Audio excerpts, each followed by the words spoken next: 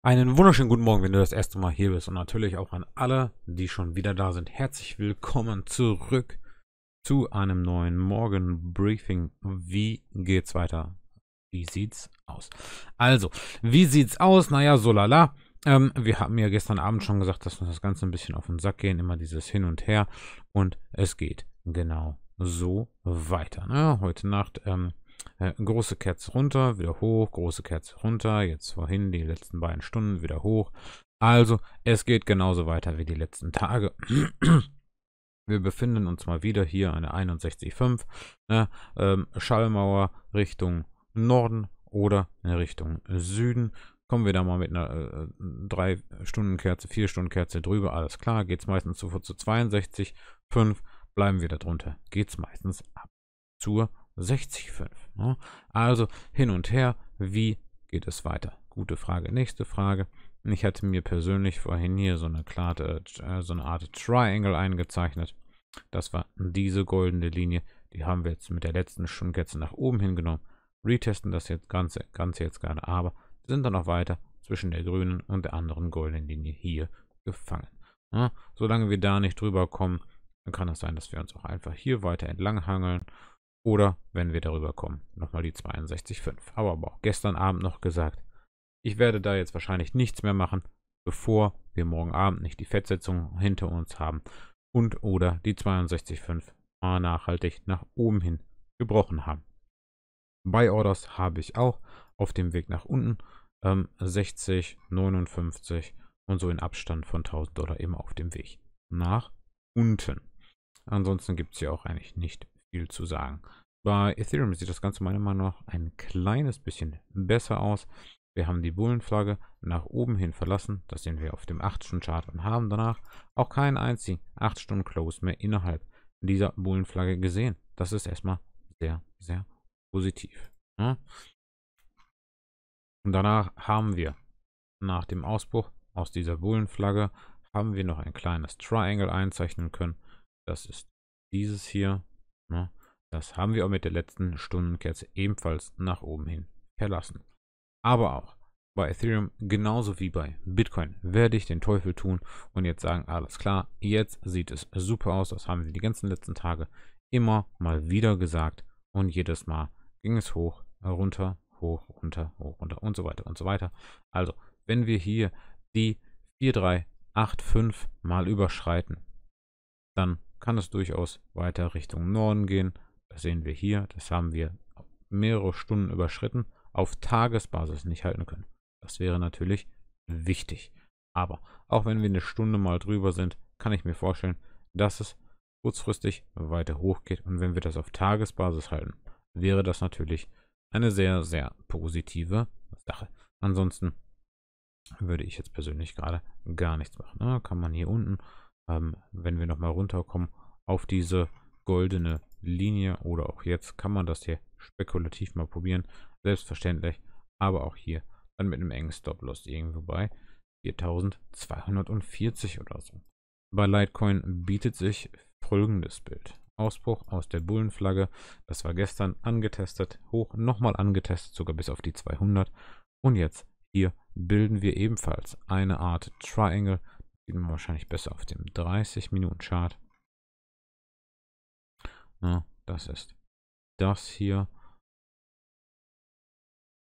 Mach das, ich mache das jetzt einfach mal auf schnell. Na, so. Und auch hier, wenn das gebrochen wird, können wir sagen, okay, wahrscheinlich laufen wir die 200 nochmal an.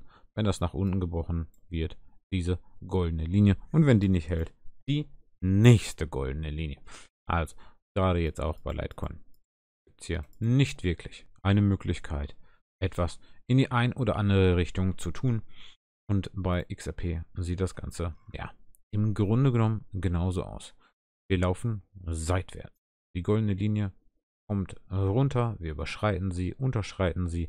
Ne, auf Tagesbasis jetzt genau dasselbe. Drüber, drunter geclosed, jetzt wieder drüber. Hier werde ich persönlich gar nicht machen, bevor wir die nicht die 1.12 nach oben übersprungen und auch regetestet. Das ist meine Meinung zu XRP.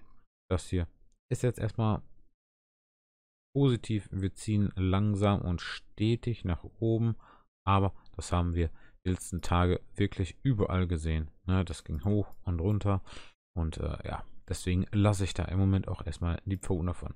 Bei Cardano genau das gleiche. Gestern Abend noch gesagt, kann durchaus sein, dass wir die goldene Linie nochmal retesten. Das war ja das, was ich hier eingezeichnet habe. Im Endeffekt sind wir dann auch bis hierhin runtergekommen laufen seitdem seitwärts. Ja, wer das Ganze spekulativ probieren möchte, hatte schon die Möglichkeit dazu. Und zwar beim Bruch dieser goldenen Linie. Ausbruch, Retest und jetzt in der letzten 30 Minuten Kette über diesen Punkt hinaus. Jetzt gerade Retest diesen Punktes. Wenn wir jetzt weiter hochziehen, dann kann man das probieren in Richtung dieser grünen Linie. Ein Versuch mit einem engen Stop-Loss, den jeder für sich selber festlegen sollte. V-Chain, ganz genau das gleiche. Ausbruch, Retest, Long Entry war hier. Ne? Und seitdem laufen wir seitwärts. Zwischen, gefangen zwischen 14 Cent und 12,7 Cent. Ja, solange wir diesen Kanal, dieses ist ja mittlerweile ein Kanal hier, solange wir den nicht verlassen zu einen oder zur anderen Richtung, ist auch hier im Grunde genommen kein Trade möglich, eher ein bisschen Scalping, also ganz, ganz kurzfristig spekulative Möglichkeiten, das Ganze zu probieren. Ne? Aber das ist wirklich sehr spekulativ. Also Solana 0,2% im Minus. Da habe ich gestern gesagt, es wäre schön, wenn wir auf Tagesbasis mal die 200 halten. Das haben wir bisher nur einmal geschafft. Und das ist diese grüne Kerze. Dann haben wir einen Retest gekriegt und sind wieder durchgefallen. Gestern und vorgestern, zwei Tage jetzt in Folge, ähm, über der 200 geschlossen. Das war diese grüne Kerze. Dann eine weitere grüne Kerze gestern und jetzt haben wir das heute. Wenn wir runtergehen, das Ganze nochmal angetestet. Also hier ähm, erneuter Wick hier und jetzt müssen wir auch hier einfach mal sehen, wohin uns die Reise führt. Man könnte das jetzt hier als Ausbruchspunkt nehmen und einen Stop-Loss hier irgendwo platzieren bei 193, wenn man das Ganze spekulativ probieren möchte. Ja. Bei Shiba bietet sich das gleiche Bild wie gestern Abend. Da habe ich gesagt, solange wir die grüne Linie nicht nach oben hinnehmen, besteht auch hier keine Trade-Möglichkeit bei Shiba und das Ganze ist auch nicht passiert.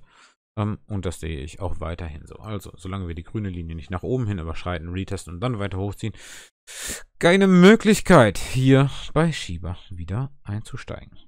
Das war's. Sehr, sehr kurz, sehr, sehr knackig. Aber es gibt auch nicht viel zu sagen. Ich glaube, die Seitenlinie ist jetzt gerade heute, vielleicht auch noch morgen bis übermorgen der beste Ratgeber, wenn wir genau wissen, wohin uns die Märkte führen werden. Ähm, die Fettsitzung morgen Abend ist unglaublich wichtig und ich bin einfach gespannt, was wir dort zu erwarten haben. In dem Sinne wünsche ich euch einen wunderschönen Start in diesen Dienstag. Gerne mal ein Like, einen Kommentar da lassen und ein Abo, falls ihr kein Abonnent